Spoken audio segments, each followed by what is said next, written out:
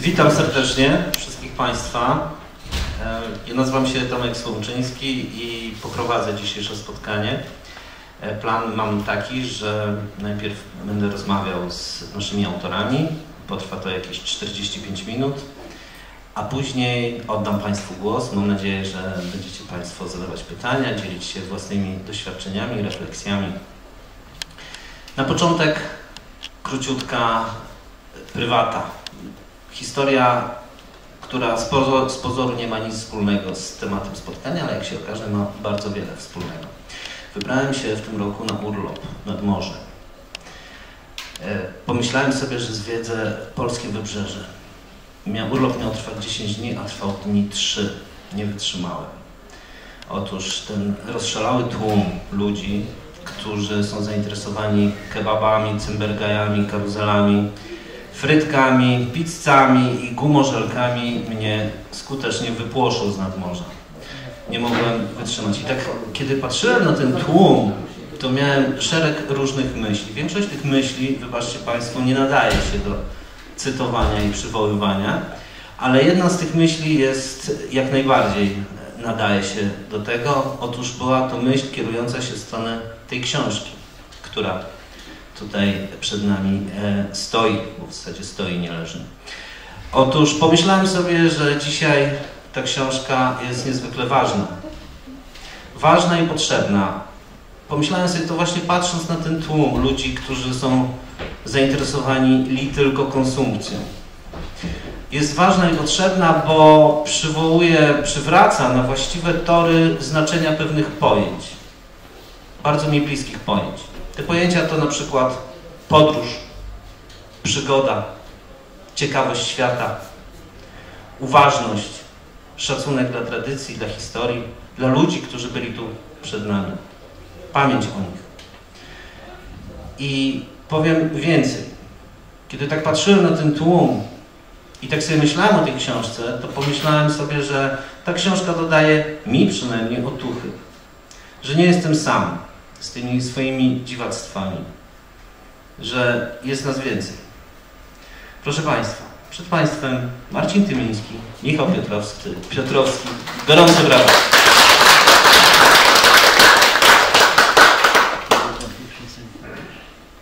Pierwsze pytanie, jak sądzę, do Michała, ale mogę się mylić. E, podobno słyszałem, że ta książka wzięła się z takiego w sumie nieeleganckiego uczucia zwanego zazdrością. Czy to prawda? Mhm. E, tak, to znaczy wszystko wzięło się z tego, że będąc na e, wakacjach e, trzy lata temu na południu Polski, zobaczyłem, znaczy to była Kotlina Kłodzka i tak się zastanawiałem, co tam w tej Kotlinie Kłodzkiej można sobie ciekawego zobaczyć, wypatrzeć. Miałem oczywiście jakieś mapy, no ale e, myślałem sobie, może gdzieś będą jakieś ciekawe informacje, jeszcze jakieś, e, jakieś takie rzeczy, które można by w okolicy właśnie wyszukać i odwiedzić. I googlując gdzieś tam w internecie zobaczyłem, że są przewodniki, które dotyczą Kotliny Kłodzkiej właśnie z serii Zapomniane i wtedy tam była nazwa właśnie, że to, to było chyba Zapomniane Dolny Śląsk, coś takiego. W każdym razie, w każdym razie była to taka dwutomowa e, wtedy pozycja, która mnie zainteresowała. Ja to sobie błyskawicznie zamówiłem e, pocztą i dwa dni później miałem już e, w ręku i okazało się, że to bardzo fajna formuła. Właśnie taka formuła, która prowadzi nie do tych miejsc, które wszyscy wiemy, że są, bo duże kierunkowskazy czy, czy jakieś właśnie informacje mówią, zwiedź sobie taki czy inny zamek komercyjny, tylko właśnie do takich opuszczonych, zapomnianych ruin, jakichś dawnych grodzisk tak dalej, i tak dalej. Pomyślałem sobie, kurczę, to bardzo fajny pomysł i pytanie, czy, czy dałoby się go przenieść na nasz grunt.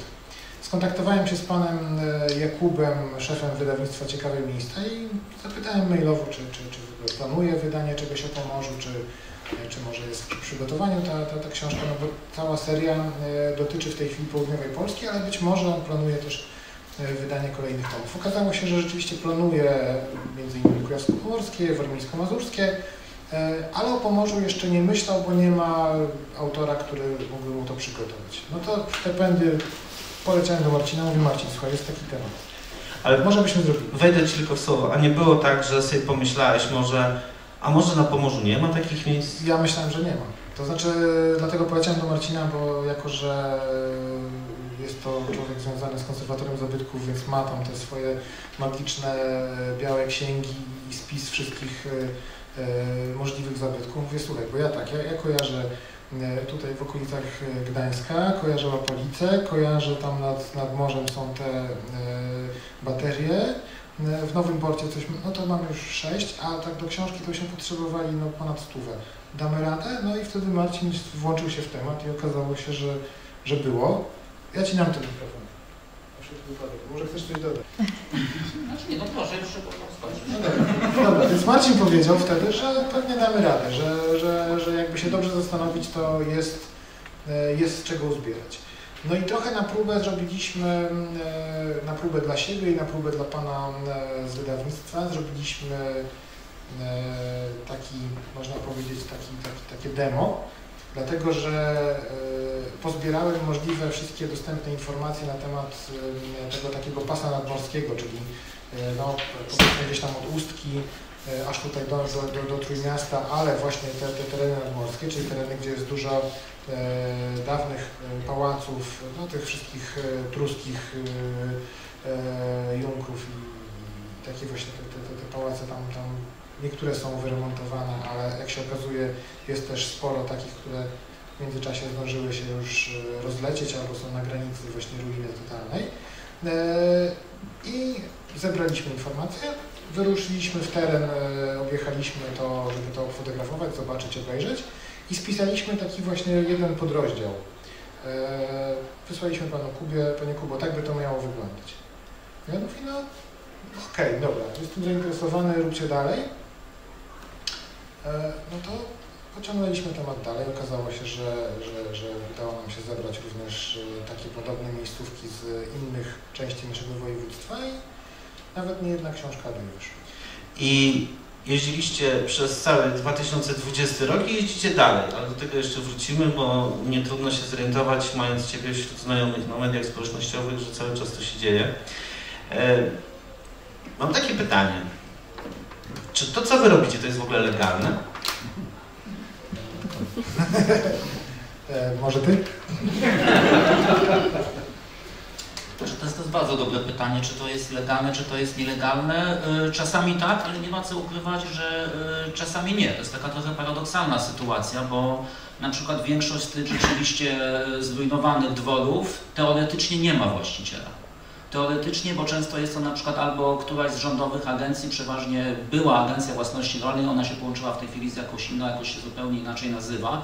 Ona tych większość dworów PPGR-owskich ma, Część ma prywatnych właścicieli i czasami jest rzeczywiście sytuacja, że do tego dworu, nawet wiadomo, można wejść, tak? Jest na przykład teoretycznie ochroniony przez agencję ochrony, czasami, czasami jest, czasami nie jest, no ale jest otwarty na zewnątrz, rzeczywiście wchodzimy, no ale czasami też jest tak, że widać, że on był rozkradziony, co chwilę ktoś tam bobruje, no my wchodzimy, akurat się znajduje albo właśnie agencja ochrony, albo nie daj Boże właściciel na przykład, no ale ta rozmowa przeważnie, przeważnie jest miła, no bo nie, no rzeczywiście pracujemy w urzędach. Michał pracuje w Urzędzie Marszałkowskim, ja pracuję w Urzędzie, w urzędzie Konserwatora i ta rozmowa robi się przeważnie miła, tak, że, że rzeczywiście, że mogliśmy tam wejść, mogliśmy te dwory, te dwory oglądać, no mówię, jest to taki paradoks, tak, że rzeczywiście, że one są takie trochę niczyje tak naprawdę, bo agencja by najchętniej się ich pozbyła, byłaby najszczęśliwsza, gdyby one się zawaliły, właściciel też, no ale są właśnie ludzie, którzy ciągle gdzieś tą historię przypominają. No, tak jak my to opisaliśmy w książkach, ale one też nie ma co ukrywać, że y, lokalnie te miejsca są znane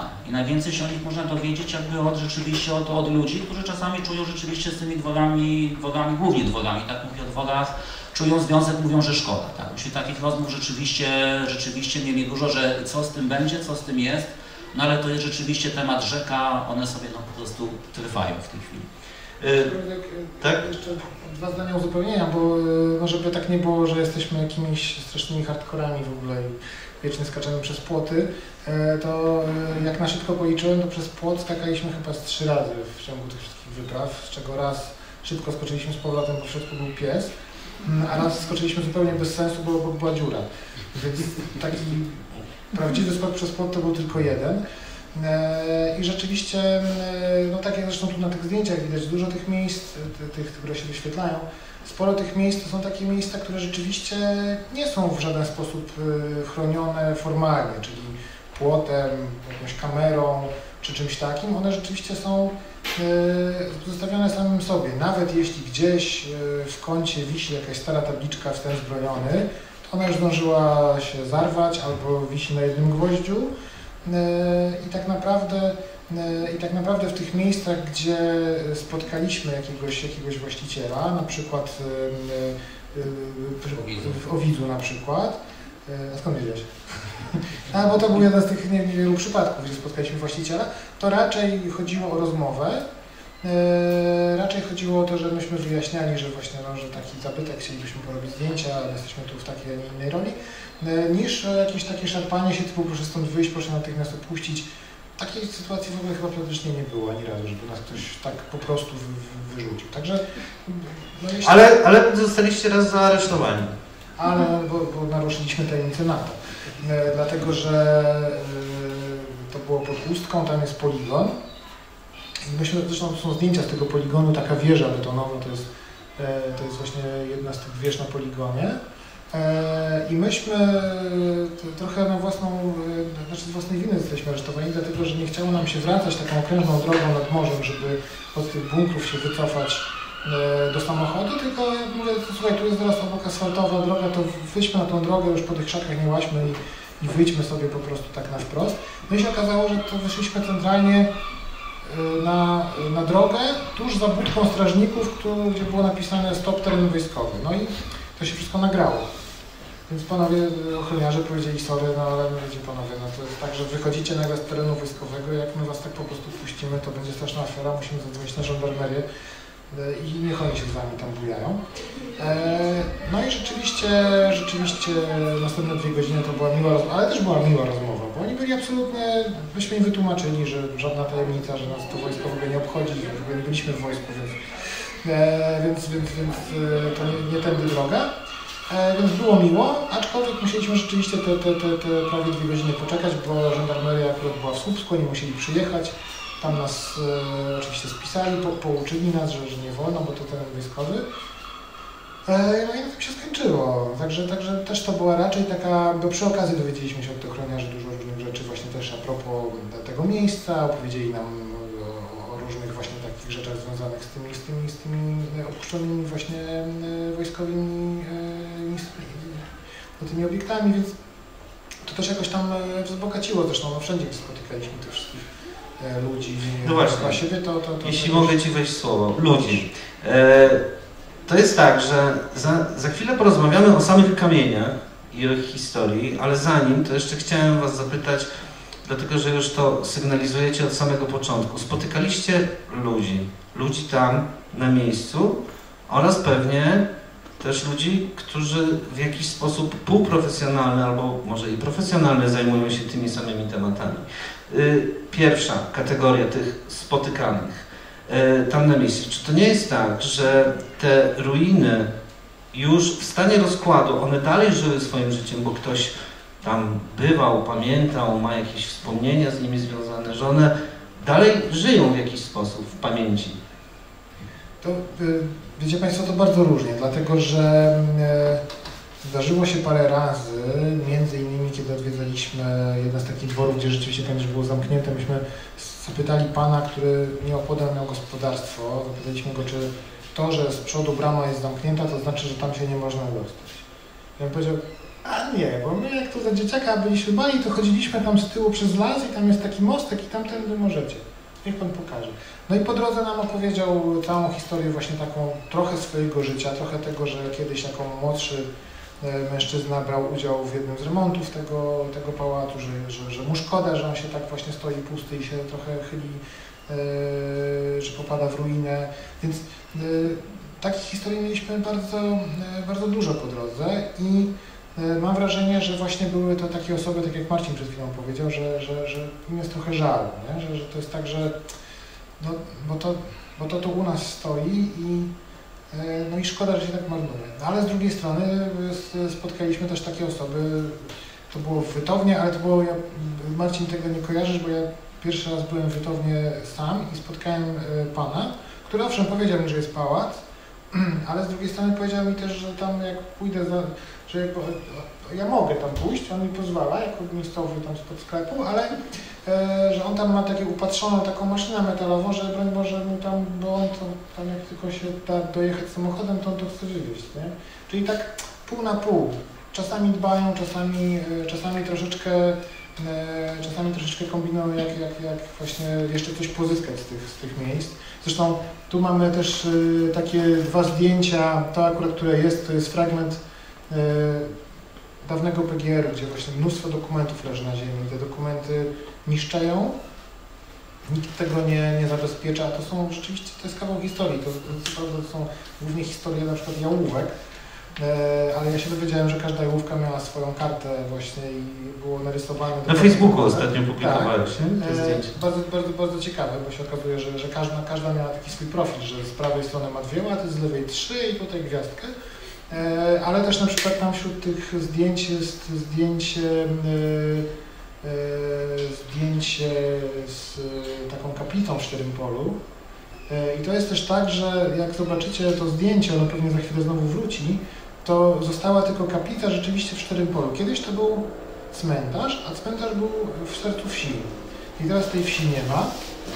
E, a cmentarz oczywiście był przez wiele lat, ale rolnik tak długo e, zahaczał o tą krawędź cmentarza wiem, że w końcu zaorał go całego i w tym momencie została tylko i wyłącznie ta kaplica, której no, no trudno... Kaplicy nie śmiał. No, no, no właśnie nie śmiał, więc ona tam została, natomiast z tego cmentarza nie ma już e, ani śladu. Także Część chciałaby, żeby to wróciło, część żałuje, że to zostało zniszczone, a część po prostu uważa, że to jest jakiś taki fragment, czy to, czy to po prostu po niemiecki, tak? Bo to, a nie to tam Niemca było, to tam można rozebrać.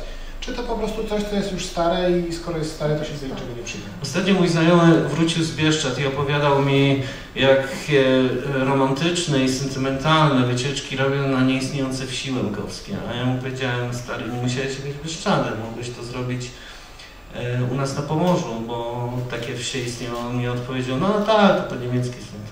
To nie to. No właśnie. Czy uważacie, mm, mam niedosyt, bo Marcin za mało zabiera głosu, czy nie, nie wywo wywołam Cię do odpowiedzi, e, czy nie uważacie, że po tych swoich doświadczeniach, po tych oglądaniu tych y, zniszczonych, zaniedbanych, porzuconych, no często zabytków, e, czy nie uważacie, że my tu na Pomorzu mamy jakiś problem z tym, e, co po niemieckie?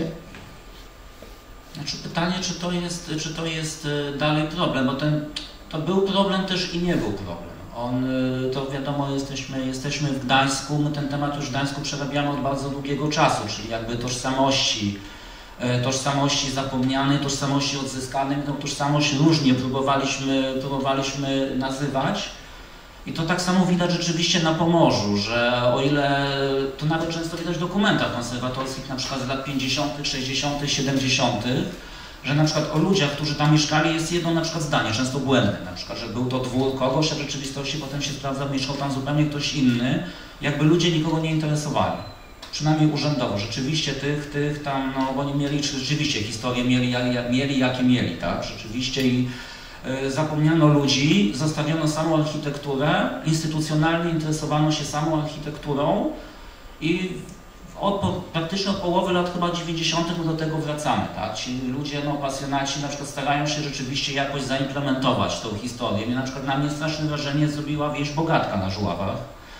Myśmy sobie tak przejeżdżali przez nią kilka razy, ale już mając w pamięci ilość tych dworów, tych miejsc, które przerobiliśmy, zobaczyliśmy w tej Bogatce jedną praktycznie, nawet nie ścianę kościoła, fragment ściany kościoła, trzy nagrobki i jeden krzyż.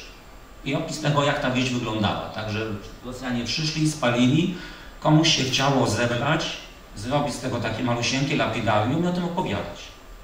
I to rzeczywiście to jest takie, no to jest wzruszające. To rzeczywiście robi, robi straszne wrażenie, że my jakoś tą historię nie swoją próbujemy, próbujemy zrozumieć, tak? próbujemy ją zaimplementować, co jest rzeczywiście dosyć trudne, no bo tak samo jak na tych wsiach większość tych ludzi też nawet nie, one, oni nie są lokalni, tak? To są ludzie, których też pozbawiono dziadów własnej historii, przyjechali z kresu, przyjechali tutaj, musieli to wszystko oswoić, tak? Sami swoi.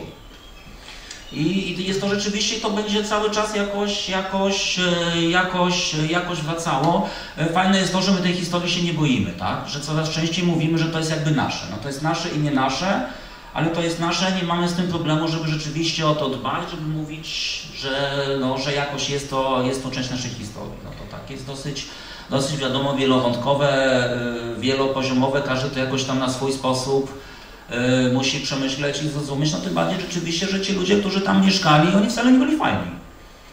To tak samo jak, tak samo jak fajni nie byli ludzie, którzy mieszkali w Gdańsku. to zawsze opowiadam, Gdańsk był w latach, y, w latach 30.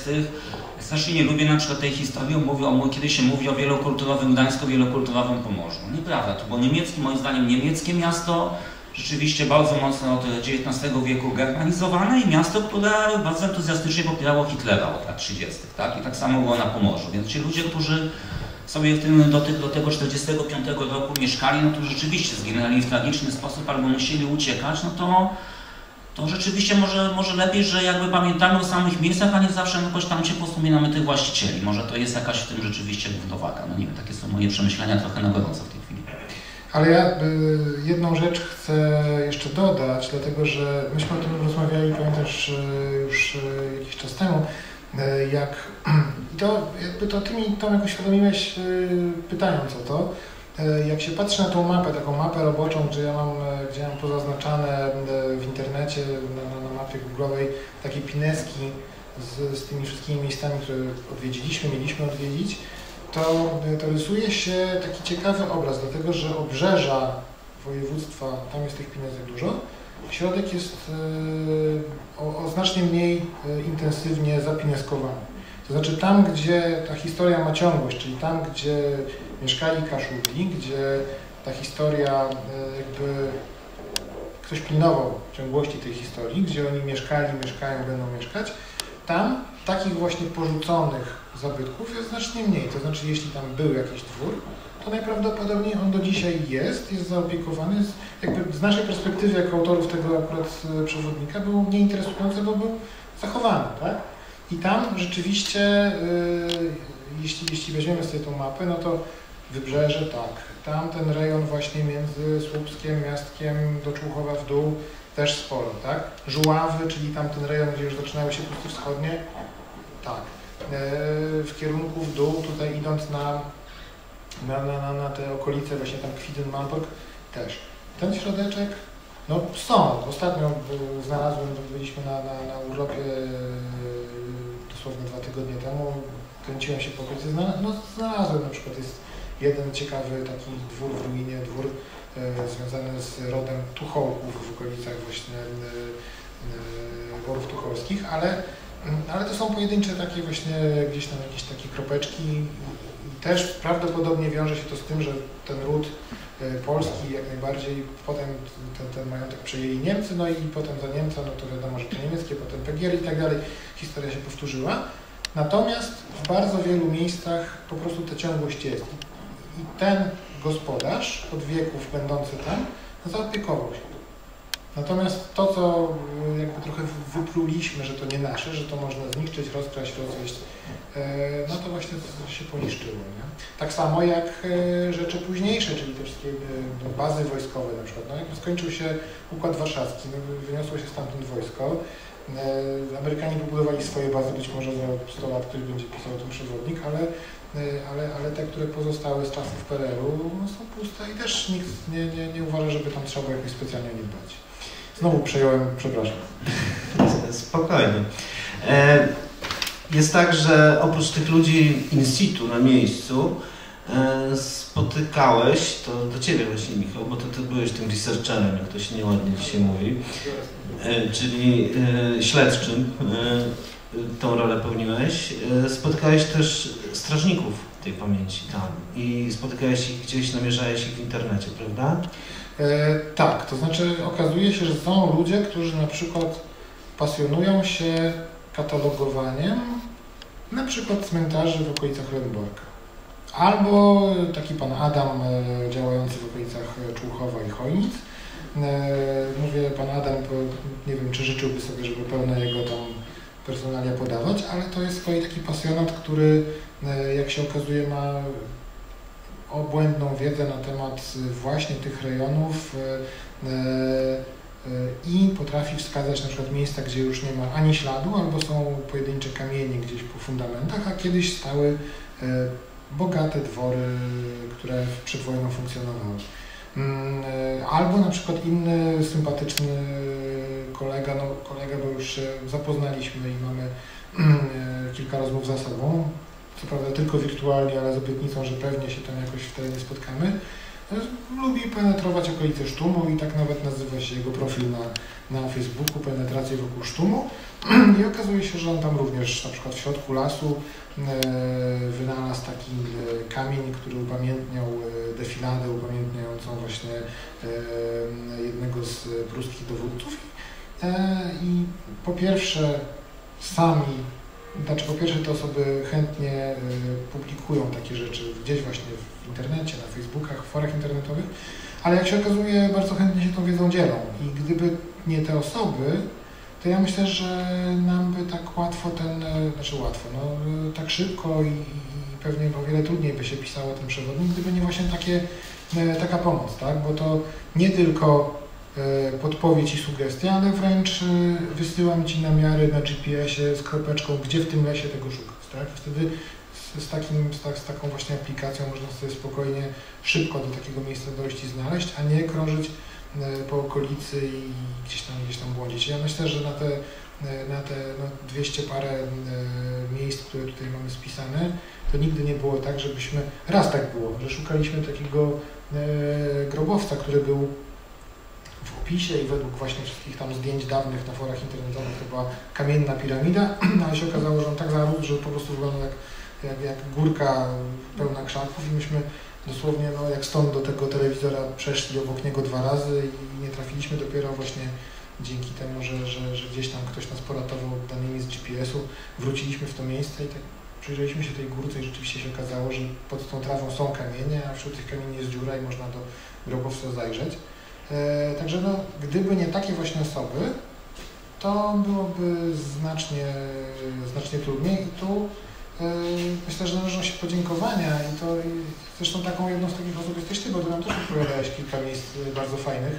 Nie wszystkie zgodnie z obietnicą umieściliśmy w książce, bo też e, Tomek pewnie o tym nie wspomni, ale powiedział, że on nam powie, ale niektórych miejsc to tak, żebyśmy za bardzo nie, żeby tam ludzie nie poszli, nie zadeptali. No i uszanowaliśmy, wiesz, w jakie miejsca chodzi i możemy się tam wybrać kiedyś w mniejszym gronie.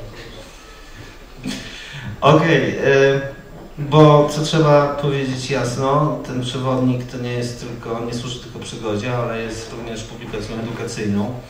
E, ty jak e, wspominasz o cmentarzu menonickim, to piszecie o tym, skąd się wzięli menonici i tak dalej.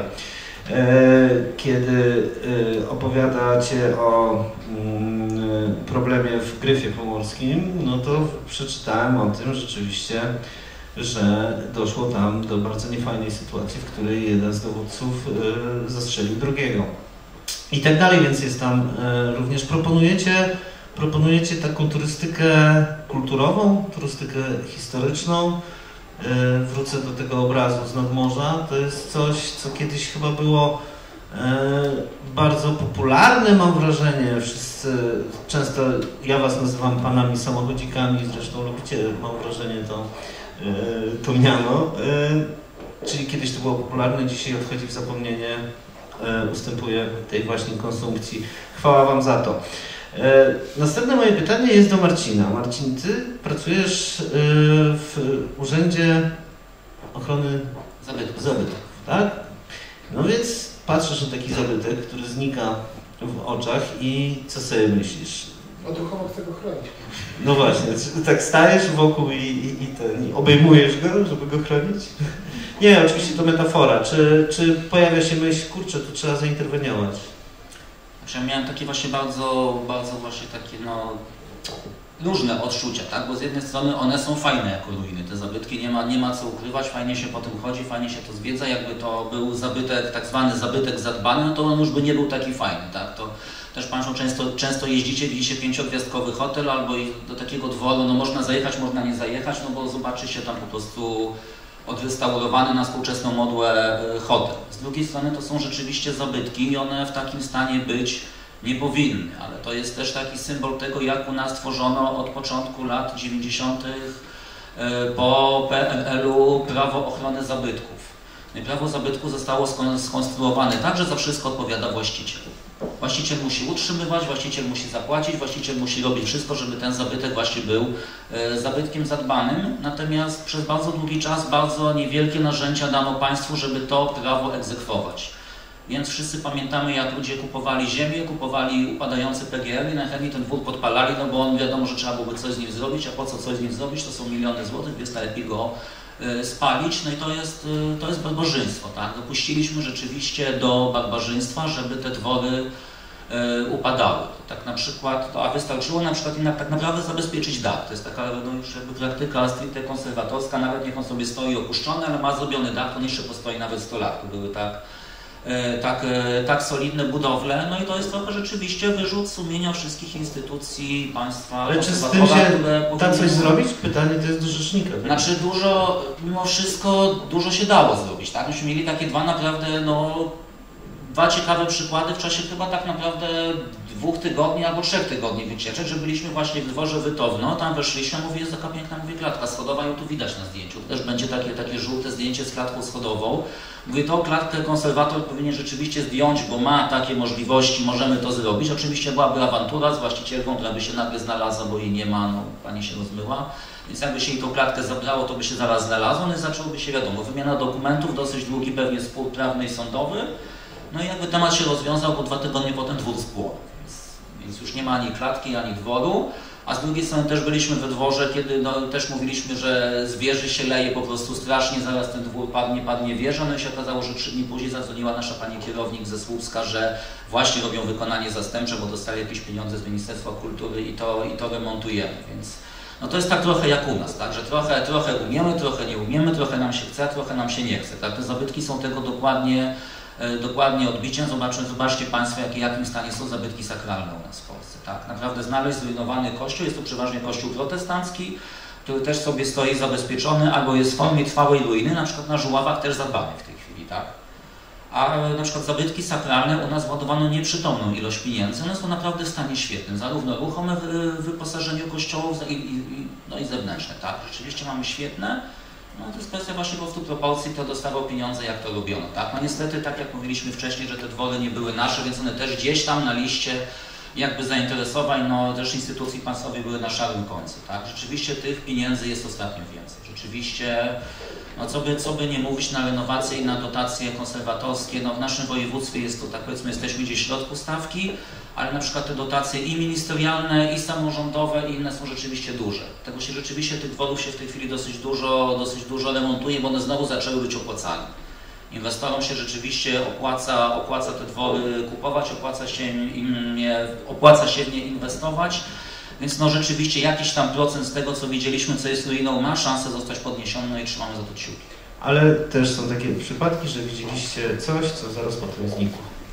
Tak, to chociażby właśnie był ten dwór właśnie dwór, dwór wytownie, więc to rzeczywiście tak, no my się, no, i w ostatnim momencie zachowaliście to swoje książki. No jest to rzeczywiście, no tyle jest ta, lubię wartość tej, tej książki, bo to jest rzeczywiście jakby taki też spis z natury na dzień dzisiejszy. Tak jak będziecie Państwo jeździć, będziecie zwiedzać, no, no nam się, no Wytowne na przykład już nie ma, tak? W książce jeszcze są zdjęcia jak jest i parę takich innych zabytków, też był ten na przykład piękny dwór w Główczycach. Oczywiście jak będziecie Państwo pod Słupskiem, Główczyce, to był naprawdę piękny obiekt i jeszcze tam byłem też chyba 3-4 lata temu, on był zamknięty, on był kompletny. Z pięknym z wystrojem, po prostu właściciel zamknął na kłódkę, powiedział do widzenia, ale sobie stał. No i nagle kupił go ktoś nowy i, i też niestety, też niestety spłoną Główczyce są teraz piękną, malowniczą, malowniczą ruiną, no i wszystko wskazuje na to, że niestety już nie wrócą do swojego, nikt tego nie odbuduje, bo się też jakiś tam zrobił straszny straszny nagle problem natury prawnej, więc rzeczywiście... Rozmawiamy o problemach natury prawnej, proponuję zejść z wysokiego C. E, powiedzcie panowie, czy to jest tak, że jak się chodzi po ruinach, to się ma takie dojmujące uczucie przemijania? E, ciągle o tym rozmawiamy, tak, zaraz oddam głos Michałowi, bo może o tym on ma chyba bardziej, bardziej niż ja, ale rzeczywiście, rzeczywiście tak, jest to dyżurny temat naszych, naszych wszystkich rozmów generalnie, że jesteśmy coraz starsi, właśnie, że przebijamy i jesteśmy jak, jak, jak te zabytki. Mi to przyszło na myśl, jak widziałem, jak trzymałeś świat młodych, wiesz? Widziałem zdjęcie, jak znalazłeś świat młodych, trzymałeś świat młodych i sobie pomyślałem, ale chłop musi cierpieć, że już nie ma 10 lat i że ten świat młodych jest taki Ale wiecie, wiecie co Państwo, bo to niesamowite uczucie było, bo myśmy rzeczywiście wleźli na strych takiego dworu, e, to zresztą niedaleko. E, okazało się, że tam jest jakieś archiwum po dawnej, nie wiem, PGR-owskiej bibliotece, w każdym razie jest dużo gazet, e, między innymi archiwalne numery przekroju, co zawsze robi wrażenie, e, ale również właśnie znalazły się pojedyncze numery pisma Bajtek, pisma komputerowego, no i Świat Młodych. Świat Młodych, który kiedyś przecież strasznie czytywaliśmy, zbieraliśmy, tylko jak potem policzyliśmy ile to było lat temu, to właśnie Marcin do zdjęcia zrobił taką minę, jaką zrobił, tak? Bo, bo, bo, bo, szybko porachowaliśmy, że no te światy młodych się lepiej trzymają na tym strychu niż my. E, Natomiast e, no rzeczywiście jest tak, że, że trochę jak się wchodzi do tych miejsc i widzi się, że to jest wszystko takie, takie poniszczone, takie, mm, takie rozpadające się, jest trochę taki klimat e, właśnie jakiegoś takiego e, przemijania. Czy, e, natomiast, e, natomiast pamiętaj Tomek, że my jakby u podstawy naszego takiego właśnie wędrowania po tych miejscach jest również ta chęć e, właśnie pana samochodzikowania, że tak powiem, czyli ciągle e, chęć znalezienia jakiejś przygody, zorganizowania jakiejś wyprawy, odkrycia jakichś skarbów. Tych skarbów tam nie ma na pewno oprócz świata młodych. E, Jakby ale- były, to i tak byście nie powiedzieli. Dokładnie.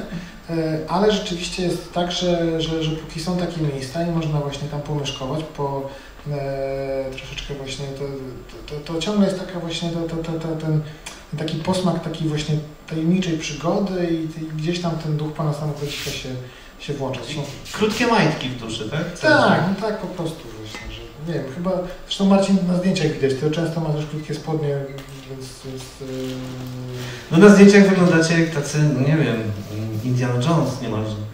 a nie, bo nie mamy kapelusza. No ale to ogólnie, mówię o ogólnym wrażeniu, a nie o szczegółach.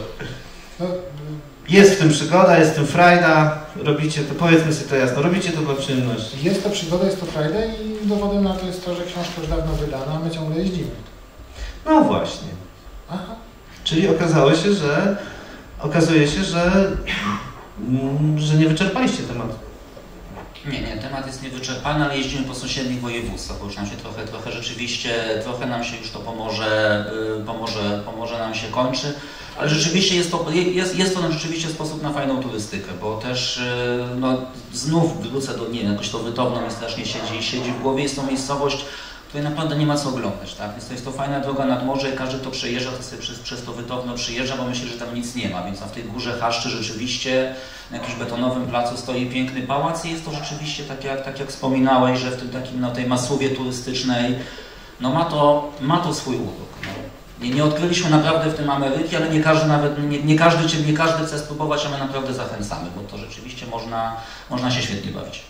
Ale y, co jest niezwykłe, to to jest, y, bo Wytowno jest takim przykładem troszeczkę właśnie dworu, który od dawna był opuszczony, więc, y, y, ale było kilka takich miejsc, gdzie wchodziliśmy praktycznie do budynku, który wyglądał jak świeżo opuszczony.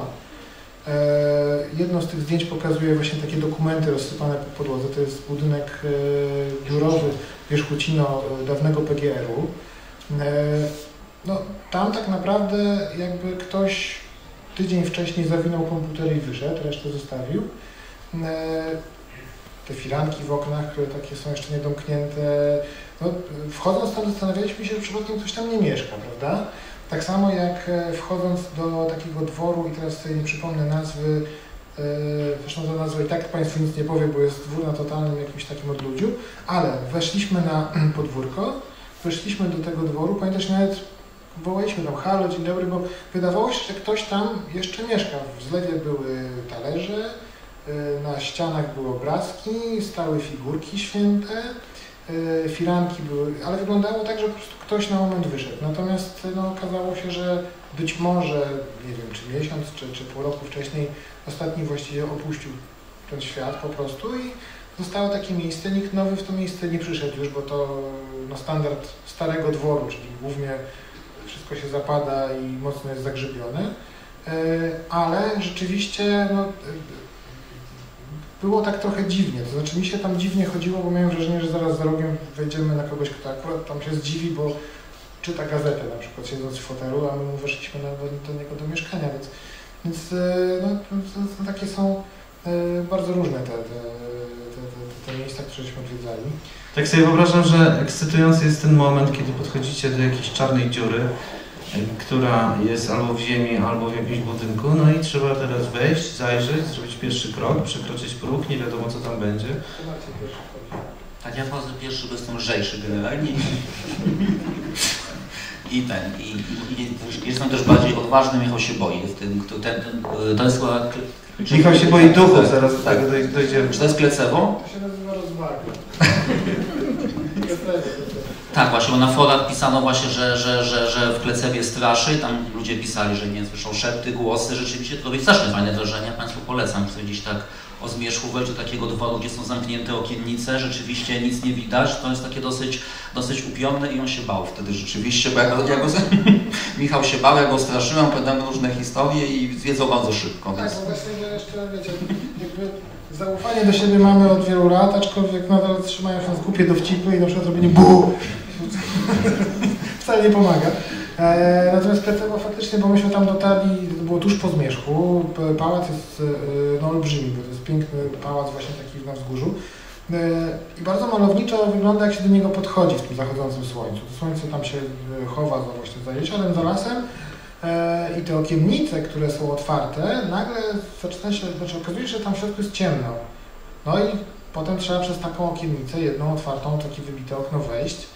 E, pałac ma trzy piętra, dwa skrzydła, piwnice, piwnice jeszcze i, i, i nagle się okazuje, a w dodatku jeszcze nie wzięliśmy latarki. O, to jest właśnie Klecewo tutaj właśnie. No, właśnie no i właśnie w takim, w takim klimacie do niego wchodziliśmy, także jak podchodziliśmy jeszcze było jasno, a potem w środku się okazało, że jest totalnie ciemno, ale mamy tylko e, dwa telefony, bo latarki zostały w samochodzie. E, I rzeczywiście nigdy tak szybko dworu nie zwiedziliśmy, jak to, jak to Klecewo. Byliśmy wszędzie, ale rzeczywiście jak, no, dopiero jak stąd wyszliśmy, no to się okazało, że minęło, nie wiem, 15 minut i już mieliśmy to wszystko. Pojedziemy tam kiedyś w dzień i pewnie musimy zwiedzać dłużej. No a czasem jest tak, że nie ma nic. Tam, gdzie coś powinno być, jest, jest jedynie dziura w ziemi, zagłębienie w ziemi. No, ale potem ty siadasz do komputera i zaczyna się twoja praca, bo ta praca przy tej książce to nie jest tylko podróżowanie, prawda? Znowu jest tak, że ja dużo gadam, ale y, dobra, to ja się streszczę. Y, znaczy, bo to jest tak, że y, no, Marcin przede wszystkim przykłada, tutaj wkłada dużo pracy w to, żeby fajnie oddać zdjęciowo te, te miejsca, które odwiedzamy, natomiast samo przygotowanie każdej wyprawy to jest właśnie wcześniej poszukiwanie, taki research, właśnie grzebanie w, w historii, żeby dotrzeć do tego, nie tylko co tam jest, ale skąd się to wzięło i trochę właśnie wzbogacić wiedzę na, na, na, temat danego, e, danego obiektu. I to rzeczywiście wymaga e, grzebania w archiwach. Na szczęście te archiwa poprzenosiły się w dużej, w dużej mierze do internetu, bo inaczej to pewnie byśmy e, no, jeszcze tą książkę pisali. Zresztą początki były takie, że pierwsze w ogóle co zrobiłem, jak zaczęliśmy przy tej książce pracować, to tutaj piętro wyżej jest bardzo fajny zbiór E, takich właśnie opracowań e, na temat historii e, Pomorza, więc sobie pierwsze, pierwsze co, to ta biografia to właśnie z tego miejsca jest. To jest taka pewna klamra. Natomiast potem rzeczywiście zaczyna się przeszukiwanie różnych stron internetowych, for interne, for, forów internetowych, ale też na przykład bardzo pomocne okazują się o dwóch rzeczach powiem. Bardzo pomocne okazuje się właśnie E, różnego rodzaju takie internetowe e, e, zbiory dotyczące drzew genealogicznych. A druga z kolei strona to jest geoportal, czyli portal, w którym są zebrane mapy, między innymi mapy skanowania laserowego gruntu. I teraz spinam te dwie rzeczy w jedną. Pod Lęborkiem mała, mała miejscowość, bardzo małe ruiny bardzo małego dworku, Obok tego małego dworku e, bardzo mały lokalny cmentarzyk i nie byłby w tym nic dziwnego, gdyby nie to, że na tym cmentarzyku była kiedyś bardzo duża kaplica, która się zapadła i po której jest tylko dół w ziemi, natomiast rozmiary tego dołu pokazują, że to było naprawdę coś takiego dużego, nie pasującego do, do, do całości. E, wspomniany już wcześniej sympatyczny kolega, który pasjonuje się historią cmentarzy z tych okolic, nie wiedział. Długo, długo szukał różnych informacji, nie bardzo potrafił dotrzeć, skąd się coś takiego wzięło. No i satysfakcja jest taka, że, że ja po jakimś takim właśnie e, grzebaniu w internecie dotarłem do, do informacji źródłowych. Okazało się, że e, Tworek był mały, dlatego że e, główny trzon rodzinie tej szlacheckiej, która tam mieszkała, mieszkał w Lęborku. To byli ludzie, którzy pieniądze robili na wynajmie kamienic właśnie w Lęborku. Natomiast tam w tym dworku zostali ich rodzice, ale ponieważ no, rodzina była zamożna, postanowili, że to będzie taki, takie siedlisko rodowe i w tym miejscu wszyscy będą, chcą być pochowani, więc ufundowali sobie tam taką właśnie dużą kaplicę, gdzie rzeczywiście potem e, byli grzebani, udało mi się też dotrzeć e, do takich nekrologów publikowanych gdzieś tam w przedwojennych gazetach, gdzie potwierdziło się, że pan X zmarł i będzie pochowany, co prawda mieszkał w Lęborku, ale będzie pochowany w rodowej kaplicy właśnie w, w tej miejscowości. Więc e, tego typu, e, tego typu informacje e, udało się właśnie pozyskać dzięki takiemu bobrowaniu i grzebaniu gdzieś tam na tych 10, 15, 20 stronach w Google'ach.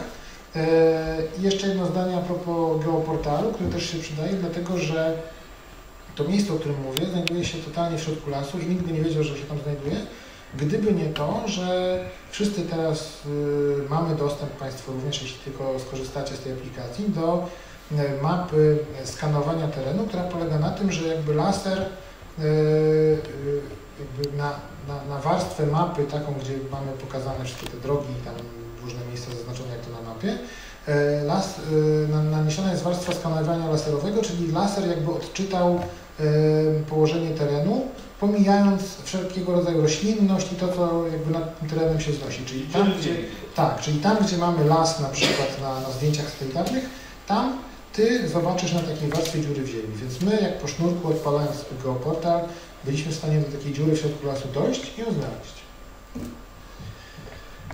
Marcin, Ty fotografowałeś te kamienie y, i Michała przy kamieniach. Dwa pytania. Y, Michał jest fotogeniczny i jak się zachowuje przed kamerą, robi ładne dzióbki na przykład.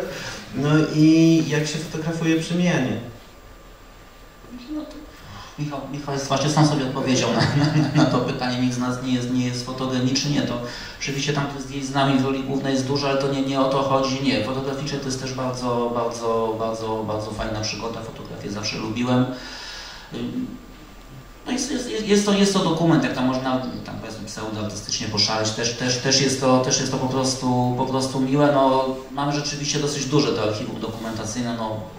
To jest tak, że niektóre zdjęcia przypominają reportaż, tak jak to zdjęcie z rozrzuconymi kartkami, niektóre zdjęcia artystyczne, jak przed chwilą zdjęcie tego dworu, w którym straszy, a niektóre są po prostu dokumentacyjne i ty jakby się w tych obszarach poruszałeś z aparatem, jak sądzę, przeglądając twoje zdjęcia.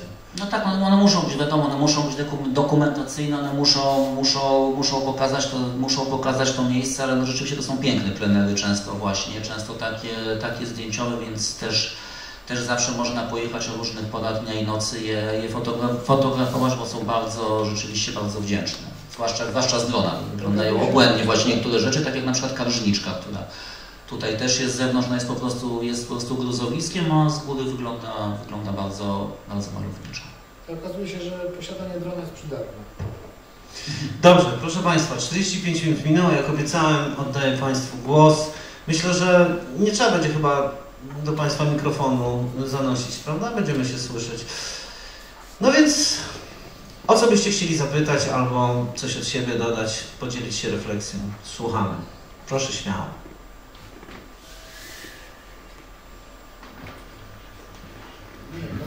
spotkaniu jest tak, że ktoś musi. Najtrudniejszy pierwszy krok. No to spróbuję. Tak, słuchamy Pana. Powiem nieładnie.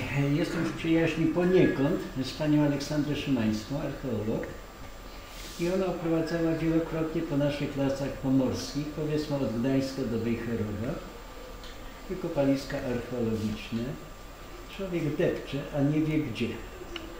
czy możecie coś o tym opowiedzieć? Okolice powiedzmy yy, w Sopocie, okolice Opery Leśnej. Tam jest kilka ciekawych miejsc.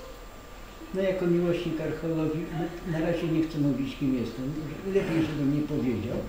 Znam takie miejsca i pani Aleksandra oprowadzała po takich miejscach. Niezależnie od tego, że w Sopocie są, że tak powiem, przewodnicy sopotcy, którzy zaglądają wszędzie, ale jak najmniej na drugą stronę opery leśnej. A tam są naprawdę ciekawe miejsca, do których, że tak powiem, malutka ścieżka, a potem zniesienie i się okazało, że to było cmentarzystko sprzed 200, 500, czasami sprzed kilku tysięcy lat. Na razie dziękuję. Zanim oddam Wam głos, to ja mm, zdradzę pewną tajemnicę. Chodzi o to miejsce, które wskazałem Michałowi, a nie znalazło się e, w książce. To właśnie było miejsce, stanowisko archeologiczne, które nie jest nigdzie oznaczone. Tam są kurhany.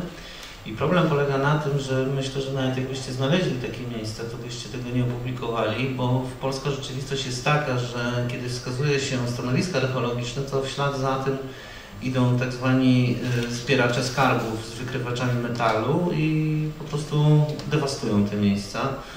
Y, I, i za, za, chwilę być może chcecie coś dodać, to daj mikrofon.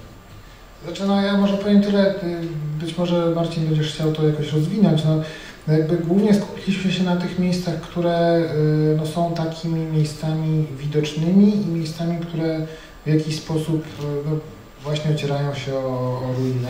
Natomiast archeologia to jest trochę inna działka, to znaczy to już jest rzeczywiście moim zdaniem robota dla prawdziwych fachowców, dla, dla ludzi, którzy na tym się znają, mają wykształcenie.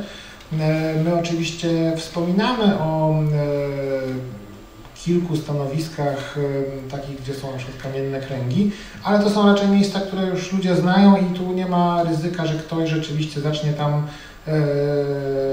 rozkopywać i na własną rękę szukać skarbów. Natomiast tu podchodziliśmy bardzo ostrożnie do takich właśnie, e, takich właśnie miejsc. Raczej nawet jeśli wiedzieliśmy o czymś takim, to staraliśmy się to zachować dla siebie i zebrać to jako taki nasz, naszą wiedzę i nasze doświadczenie, e, niż gdzieś to właśnie publikować, no właśnie z racji trochę ochrony tych, tych, tych miejsc. Się bardzo dużo zresztą znajduje, właśnie chociażby ze sprawą geoportalu, to rzeczywiście i urząd znalazł i miłośnicy też lokalni znaleźli i grodziska i kurhany, my tego dosyć teraz dużo wpisujemy, wpisujemy do rejestru e, do rejestru zabytków, ale rzeczywiście to zawsze, na przykład jak, chcę zrobić post na Facebooku, to jest też zawsze o Jezu, ale nie mów gdzie, absolutnie tam ewentualnie gminę, bo zaraz rzeczywiście, rzeczywiście to zostanie rozkopane, a, no, a szkoda by było ale tych rzeczy rzeczywiście ostatnio też się, też się dużo, dosyć dużo tych nowych, e, nowych stanowisk e, wpisuje, więc tutaj też technologia bardzo nam służy. Przepraszam, jeszcze to powiem. Żeby nie być, jestem archeologiem i historykiem amatorem, ale mam w rodzinie po studiach, siostrze jest jego żona, kończyli historię i archeologię na Uniwersytecie Gdańskim. Jestem w przyjaźni wieloma archeologami na Pomorzu i znam takie miejsca, o których wiem gdzie co jest, są w odległości dosłownie kilkuset metrów od zabudowań, od obiektów powiedzmy bardzo znanych, no ale ja tego też nie powiem, bo powiedzmy inaczej, ktoś gdzieś coś powie, że ja tam pójdę, że tak powiem, kilka razy w roku i nie mówiąc wielkich rzeczy, ale złożę chociaż kwiat albo zapalę znicz, ale nikomu tego nie mówię, a takich miejsc na Pomorzu ja znalazłem co najmniej 500. No bo, no dobra, to się przyznaję, jestem tu sławnym gdańskim podróżnikiem, pieszo przemierzyłem rowerami i kajakami, nie tylko Polskę, dużo obszary Europy. I w moich wywiadach i na spotkaniach powiedziałem wyraźnie, interesuje mnie przyroda i historia, a nie ilość kilometrów. Są miejsca, gdzie robię jedno zdjęcie i stoję godzinę, bo to jest tak ciekawe, bo tam w takich miejscach się bywa raz w życiu. A są takie miejsca, że dosłownie przechodzi się wielokrotnie i się nie zwróci uwagi na kamień. Yy, no w jest też taki charakterystyczny, bo akurat mieszkam w Oliwie. Jest kamień, który dosłownie przeszkadza na chodniku. 1739. Nikt nie pomyśli, że ta boczna droga to była dawna ulica Polanki. Ili Państwo, wiem, wiem, tajemnica jest. Jak będzie odkryte, udokumentowane, wtedy pokażemy innym. Dokładnie tak. Cieszymy się, że Pan z nami jest. E, czy jeszcze jakieś e, pytania? Zachęcam. Ja mam pytanie. Na tych zdjęciach jest pokazany jeden pałac, który jest odremontowany. E, Jak, jaki duży procent jest w dobrym stanie tych zabytków? A ile w ogóle zniknęło? Chodzi mi o czas podpowojny.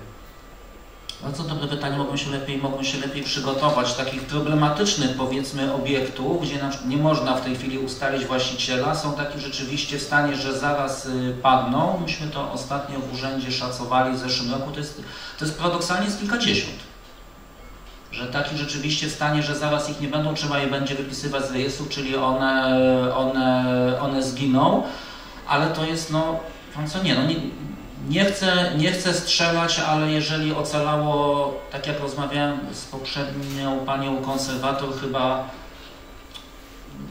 około połowy, między 60 a 50% jest, jest jakimś w, w, różnym, w, różnym, w różnym stanie. Połowa rzeczywiście, połowa rzeczywiście zniknęła, no i z tej połowy około chyba 30 jest w stanie takim, że jest super. Tych, tych, tych zagospodarowanych dworów i, i pałaców Pomorza rzeczywiście, no to, to, to jest mniejszość. No taki ten dwór był praktycznie w każdej wsi, tak? To, to one są, one są te pomorskie dwory, nie są najbardziej okazałe, to wiadomo, te na Dolnym Śląsku są, to są rzeczywiście prawdziwe pałace. Tutaj przeważnie mieszkali trochę ubożsi krewni tych najbogatszych, najbogatszych niemieckich rodów, to widać, ale taki dwór był praktycznie w każdej wsi, no zobaczmy jak jest teraz, tak?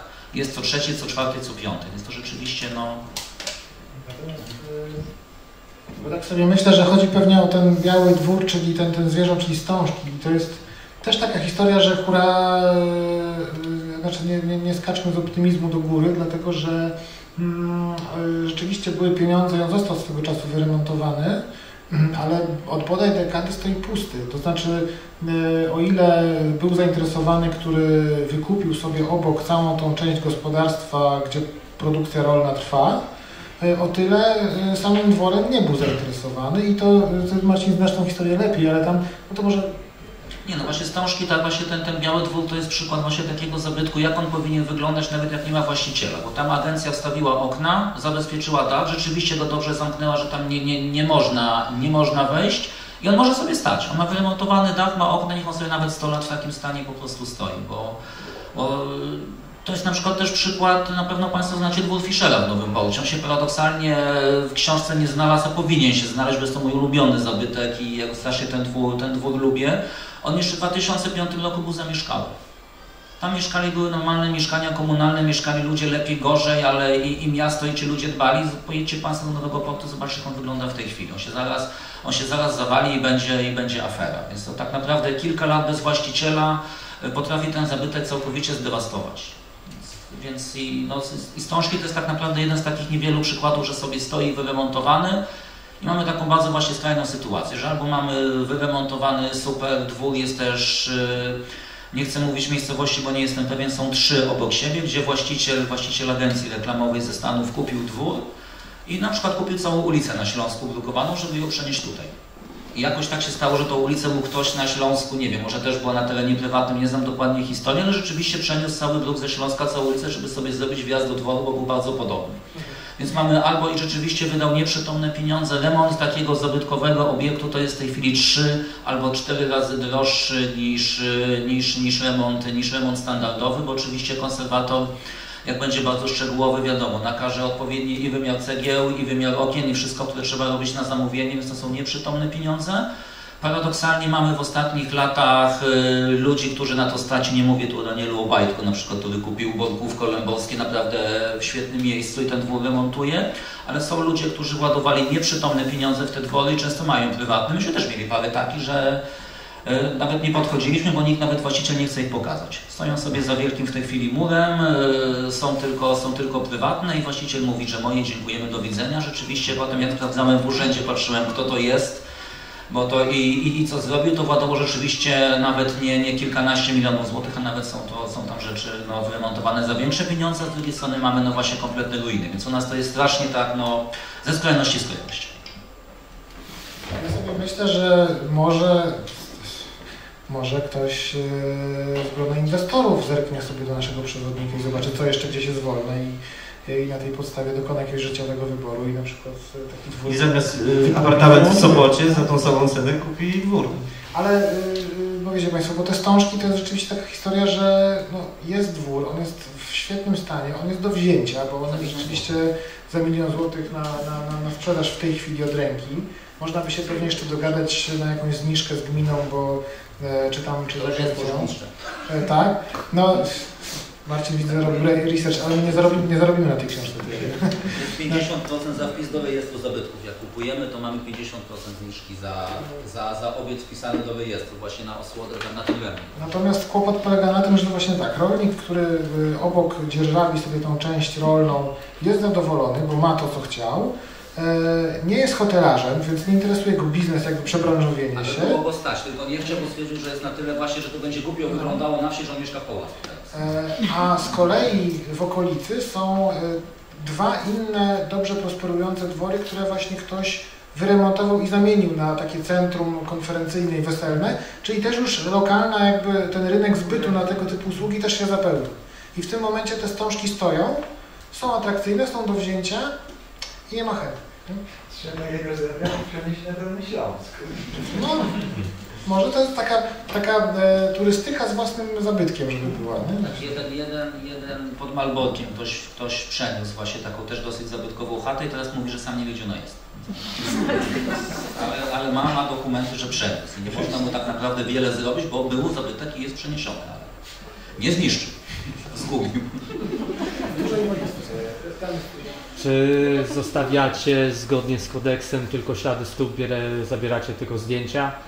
To pierwsza kwestia. I czy nie boicie się, że ten przewodnik, e, albo może liczycie, e, że w pewnym stopniu zachęci większą ilość osób do odwiedzin, e, ale właśnie w takim stopniu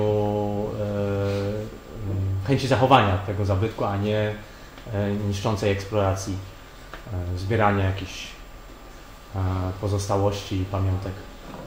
Znaczy nie, nie, nie, znaczy no jed, jedną rzecz tak, przyznamy się jedną rzecz, jedną rzecz zabraliśmy, ale i tak ktoś by to zabrał, to był taki dyplom dla krowy jałówki z PGR. Też teraz te jałówki jakoś tak wiecie. Właśnie z, wierz, z, z wierzchuciną taki leżał zdeptany na podłodze, no to dobrze, no nasza wina no jest, jest, jakby ktoś się upomniał, to, to, to oddamy, ale rzeczywiście jest taka zasada, żeby rzeczywiście jak, jak już no rzeczywiście wchodzi się to, żeby tak wejść, żeby i wyjść, żeby nikogo nie było, tak? Absolutnie nie wolno wyłamywać drzwi, żadnych zamków też tam, no też tego rzeczywiście nie robiliśmy, no bo no, bo, no, no nie, No nie nie, bo taki jest kodeks jakby nie, pisany. No ja myślę, że rodzina tej jałówki już dawno została zjedzona, więc nikt się o nie upomni, a rzeczywiście jest tak, że znaczy czasami trochę szkoda, bo e, ja sobie myślę, że na przykład te dokumenty, które leżą na podłodze, tak, i my wiemy, że one za dwa sezony, bo tam już cieknie z dachu, za dwa sezony to będzie po prostu breja papierowa i trochę jest szkoda, ale z drugiej strony no, e, no, też nie jesteśmy archiwistami, no to mielibyśmy, no, całego tego nie uchronimy. Wyrwanie jednej kartki też nic nie daje. No, były takie ciekawe dokumenty, myśmy raczej robili im zdjęcia. Pamiętasz, taki był na przykład y, protokół po, po tym, jak pan wpadł do Kadzi Gorzeli właśnie i oni potem postanowili zabezpieczyć, żeby jednak tam były barierki, bo jak ludzie wpadają, to potem jest kłopot, bo umierają. Eee, więc tego typu rzeczy rzeczywiście leżą i no, można by je zabierać, ale też no, no, To to tworzy jest- jakby atmosferę tego miejsca nawet też, tak? zabieranie, tak jakbyśmy zabierali kamyki z, z, ze szczytu jakiegoś tam tej góry, tak? Ona potem po, po paru latach była niższa przez to. E, natomiast e, natomiast e, no, no są też takie miejsca, o których nie wspomnieliśmy, właśnie ze względu na to, żeby, żeby ktoś tam nie poszedł, nie zadeptał, nie wykopał, e, nie zabrał. E, więc, więc one się w przewodniku nie znalazły, one mamy je na, na, na naszej roboczej mapie, wiemy, że są. Natomiast o tym sobie tam rozmawiamy w takim gronie zaufanym, że rzeczywiście rzeczywiście wiemy, że, że osoby, które o tym wiedzą, dochowają jakby te, tego kodeksu i tam nie, nie, nie, nie poniszczą. Eee, inna sprawa, że w tych miejscach zazwyczaj rzeczywiście niewiele zostało. To znaczy, e, słuchajcie, e, znaczy kreatywność ludzi do tego, żeby wynosić e, z takich miejsc rzeczy jest niesamowita, bo e, e, Miradowo, Miradowo, czyli taki pałac w kierunku jak się idzie na Zblewo za Starogardem, E, Są tu moi rodzice, moja mama stamtąd pochodzi i e, opowiadała mi e, dawno, dawno temu, jak tam jeszcze dziadek pracował właśnie u Niemca E, Potem jak za dziecka się jeździło właśnie do babci na wakacje na wieś, to ja pamiętam jak tam jeszcze PGR funkcjonował i w tym dworku były biura i, to wszystko działało. E, I e, tam e, człowiek, który tam mieszkał, e, był miłośnikiem koni. I to było tak, że, że na jednym z budynków był taki, e, tak, taki, taki, tak, taka rzeźba, taki ko- końska głowa. E, I teraz jakby Teraz już tego dworku nie ma, bo w ogóle ktoś uznał, że cegła jest fajna, taka stara i wywozi po prostu cegłę. Widać tylko było ślady w wysokiej trawie, że tam podjeżdża ciężarówka i po prostu jest z tego gruzowiska nagarniane i wywożone. Ale jedna z pierwszych rzeczy, która zniknęła i to jeszcze tutaj patrzę na moją mamę, bo ona ma zdjęcie z, z tego czasu. E, To jest takie zdjęcie, w którym jeszcze budynek stoi, ale tej głowy już nie ma. Nie? Ktoś poszedł na, e, na, na, na strych, musiał przywalić kilofem dookoła i całe to sobie wykuł po prostu zabrał. Nie? Ale ile ludzi też na przykład przywozi śmieci do tych dworów? To jest naprawdę też A, dosyć, to- to dosyć, jest- dosyć to- ciekawe, że trzeba pokonać na przykład, nie wiem, no, dziurę w ziemi, tak, bo tam się podłoga zawaliła i parę innych przeszkód, żeby na przykład wrzucić 16 worków ze śmieciami akurat właśnie do, do, do dworku, więc tych rzeczy często nawet przybywa, nie ubywa z A tych pamiętasz miejsc. takie miejsce, gdzie było, jak myśmy się przedzierali przez taki pokój, gdzie było prawie, że, prawie, że po pas było y, elementów plastikowych, y, samochodowych. y, A to było, było to akurat w tym w jednostce wojskowej, Tak. szuka części do samochodów, to są, tak. No. To, do wszel, wszelkich, wszelkich, wszelkich magek. Po prostu Znaczy- rzeczywiście po, po pas było zderzaków, błotników i... Tak, styżaki właśnie, to były te plastikowe, te właśnie, i to było po prostu, ale to jakby ktoś hurtownie tam miał. Myśmy tak przechodzili jak brodząc pomiędzy nimi właśnie, bo nie wiem, może, ale to naprawdę trzeba mieć niezłą fantazję, żeby z całym tym habarem przyjechać właśnie w to miejsce i to tam wyrzucić, bo można by było na przykład, na przykład spalić w piecu, No my, w starej, my w Starej Gorzeli natknęliśmy się na przepis i o której godzinie było co wstawiane. No. To też taka właśnie ciekawostka. Ja mam Takie rzeczy można znaleźć. wtrącę trzy grosze. Czy to nie spowoduje dalszej, mm, dalszego dewastowania tych zabytków? Posłużę się przykładem. Jakieś dwa lata temu wprowadzono, Lasy Państwowe wprowadziły program Zanocuj w lesie, najpierw pilotażowo, teraz w szerszym zakresie. No i też były takie głosy, że jeżeli, bo polega to na tym, że można pójść do lasu na wyznaczony obszar i zanocować. Co prawda nie wolno palić ogniska, ale można biwakować. Wszędzie, gdzie się, gdzie kto chce. Nie, nie chodzi o miejsca wyznaczone, tylko jest las, proszę, rób to co chce, tam nie palili ognisk. No i był taki głos, że w takim razie las zostanie zaśmiecony, zadeptany i tak dalej. Nic z tego. Okazuje się, że no, jako społeczeństwo jesteśmy tak leniwi, że i tak e, większość będzie chodziła na miejsca wyznaczone, gdzie mają to i toje i dostęp do bieżącej wody. E, A takich pasjonatów nie ma wielu, a ci co są, to rzeczywiście nie pozostawiają po sobie śladów. Myślę, że tu będzie podobnie. Ten, ta książeczka trafia do tych ludzi, którzy są pasjonatami i wiedzą, jak się zachować, a reszta ma to no, tam, gdzie ma. Ja, ja jestem zarządcą nieruchomości i powiem, że we Brzeszczu na Konopnickiej e, jest mieszkanie, obecnie się postępowanie spadkowe toczy, e, w którym są secesyjne e, kafelki, takie łab- z łabędziami. Więc bardzo ładne. Ja sądzę, że po prostu nowy właściciel, który już przejmie ten lokal, po prostu wszystko zniszczy. A w mieszkaniu, czy... W mieszkaniu. Mam zdjęcie nawet, mam pokazać. No, Pewnie. Szukam. to my zanotujemy, nie? I będziemy pierwsi. Nie, ale słuchajcie, to, to też jest w ogóle taki paradoks, że e, znaczy jak się wchodzi na przykład do pałacu, który jest e, w miarę trochę- nawet w tym, e, e, nawet w tym Klecewie, gdzie straszy. Także nie widzieliśmy może za dużo i szybko, ale ta rzecz się rzucała w oczy. E, Piece. Nie? To jest jedna z pierwszych rzeczy, które, które znikają. To znaczy jakby jest taki moment, w którym jeszcze jest pałac i są w nim piece i jest ten moment, w którym jest jeszcze pałac i nawet w niektórych oknach są szyby, ale już pieców nie ma. To znaczy ktoś wyczuł, że jest to zabytek, można go odkuć i sobie gdzieś tam... e, e, A są też takie miejsca, gdzie są te piece, ale na przykład poodkuwane są te kafle, które były rzeźbione. Na przykład właśnie e, w tym, w tymże kończeniu było tak, że Jezu, kończenie plecywy, bo już mi się... No w tym, tym, gdzie straszy, było tak, że właśnie były piece ładne, widać było, że, że, że miały taki pas, którym były rzeźbione figurki i tego pasa już nie ma, nie? Ktoś, ktoś po prostu sobie go e, zabrał, no bo no to, to, Kominek jest jeden. W jednym dworze jest jeden kominek do dzisiaj. Kompletny. Więc na, na tyle miejsc jeden Ale kominek to...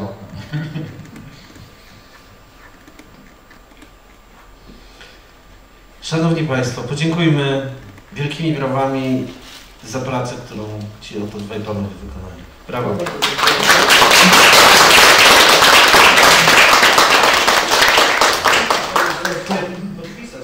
to To znaczy właśnie, bo jest, jest to taki krępujący moment, w którym się okazuje, że my nie mamy książki, bo nie, nie, wydawnictwo nas nie wyposażyło, więc możemy podpisać, jak ktoś ma i przyniósł. Ewentualnie możemy podwiedzieć, gdzie można kupić, ale nie jest to tak blisko, żeby pobiec i szybko wrócić. E, ale też jesteśmy codziennie w Gdańsku, więc gdyby ktoś chciał e, w jakimś innym momencie pojawić się z książką, to, to chętnie w jednym miejscu praktycznie przebywamy w jednym budynku, więc, więc zawsze można nas złapać i taki podpis e, zdobyć. E, Natomiast my bardzo w ogóle dziękujemy, dlatego że jak tu przyszliśmy jeszcze, było tam po 16, to zastanawialiśmy się, czy w ogóle ktoś przyjdzie i chciał posłuchać tego, co mamy do powiedzenia. Okazuje się, że jest tak dużo ludzi, że nawet e, obawialiśmy się o tak zwany dystans i te wszystkie obostrzenia pandemiczne. Mam nadzieję, że wszyscy Państwo wyjdziecie z tego spotkania zdrowi, my również. No i dziękujemy za, za bardzo liczne przybycie. Yeah.